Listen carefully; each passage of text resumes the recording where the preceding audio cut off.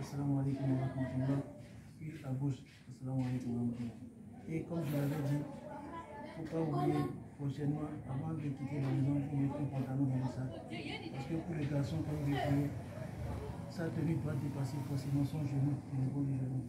Donc, ce qui veut dire que, a priori, ce que vous allez porter, ça doit arriver au moins, au moins ici, ici ou alors ça doit aller au niveau des chevilles.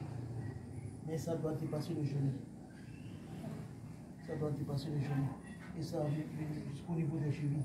Donc c'est très important pour rendre la prière valable pour la prochaine fois. Donc, avant de quitter la maison, vous ne pouvez pas porter le pantalon pour entrer à l'école. Donc vous mettez ça dans votre sac. Et lorsque vous allez sortir, vous faites la prière, vous allez mettre ça avant de faire la prière.